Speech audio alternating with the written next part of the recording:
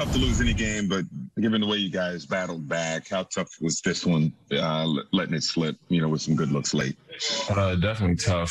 Uh, we fought out there, but we should never let them get up that much. Um, they were hitting tough shots, so you got to give kudos to them. Communication, the, you know, in the locker room after after the game, you know, in terms of the way you guys sum this sum this one up. Uh, it was just a tough one. We battled back. We played hard. We tried to fight back and get back in it, but uh, we just came up short tonight. Blake Andrews, ESPN. Bruce, Steve had said that he sort of thinks you guys need to constantly take on this identity of being the underdogs defensively. Do, do you agree with that assessment, needing to get into that sort of mindset repeatedly? Yeah, definitely. I think we just need to go out there and play with energy, talk more, communicate on defense, um, and just know what we're doing, know our personnel, and we'll be fine. Team, as we know tonight, teams got to be perfect to beat us. Uh, so we, if we, we lock up on defensive end, we win.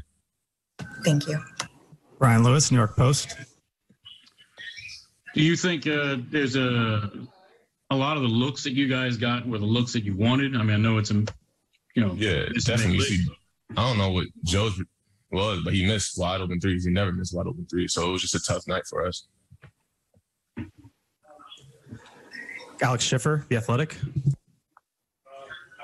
Bruce, kind of going off that, that just their hot shooting. How much do you attribute that to them just having one of those nights where you know the everything's going in, and how much do you attribute to some of you guys' defensive issues? Um, probably a few of us, few of them defensive issues, but I mean they're gonna have to be perfect, and they know to be team's gonna be perfect to beat us. Um, they were just hitting shots, tough shots.